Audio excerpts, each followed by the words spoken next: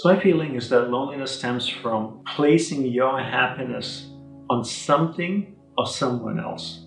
Basically, you're leaning on something or someone else to make you feel complete or full. And when that person or that thing goes away, you fall down. Quite often, if you really reflect on your life, you find that the reason you're feeling lonely is because you've placed your happiness on someone or something else. And now that person or that thing has gone away, and you feel an emptiness inside of you, and hence the feeling of loneliness. My guru would always advise to me, lean on your own spine.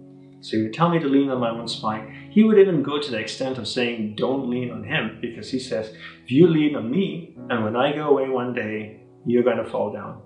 Place your happiness, place your contentment on yourself, lean on your own spine, turn inward, and uplift yourself and realize that everything and everyone else in your life is a gift, a wonderful gift to you. You are complete and whole as a person as it is, and everyone and everything else is a bonus in your life. And if you start adopting that attitude, you'll no longer start to feel lonely. Because even if you're by yourself at home, traveling, wherever you may be, you always feel content as a person. Quite often when we're feeling down, it's not so easy to uplift ourselves and sometimes we can kind of get stuck in that funkiness, funky area of the mind and just wallow in that sorrow, uh, so to speak. One of the things that my guru used to recommend uh, to me, uh, and just even in general, anybody that asked him uh, to help them get out of a place of funkiness or feeling down, uplift somebody else. So what he would say is, um, you uplift yourself by uplifting someone else. And that was kind of the essence of the message. You uplift yourself by uplifting somebody else. Find a friend, uplift them. Uh, you can uplift them by doing something nice for them, something that you know they need help with or, or they need in their life, but they may not have asked you. But uh, you know, by you offering your help and just doing it for them would make a big difference in their life. Reach out and do that for them.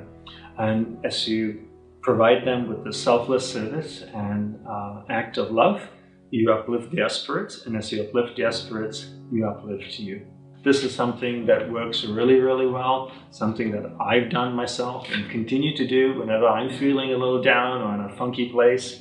I'll do that. I'll find somebody that I can uplift, and then by just uplifting them, I find myself being uplifted as well. But this life, I have one life as Danapani, and I want it to be an amazing life. So because of that, I prioritize what's important.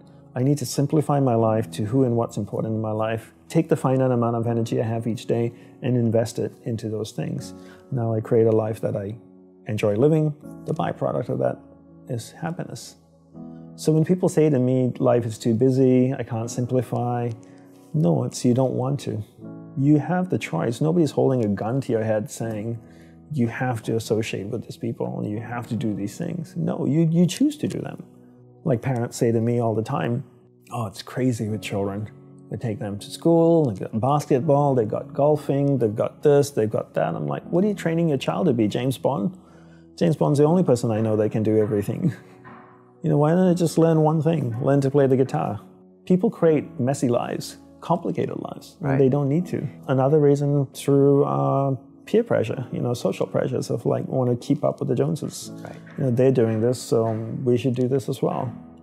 I don't. I do what I feel I need to do. People say this to me all the time. You know, I hang around with entrepreneurs and other people that they've come up with Snapchat.